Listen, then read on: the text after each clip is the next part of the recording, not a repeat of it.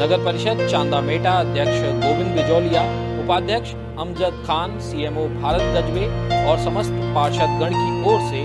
सभी को स्वतंत्रता दिवस की हार्दिक शुभकामनाएं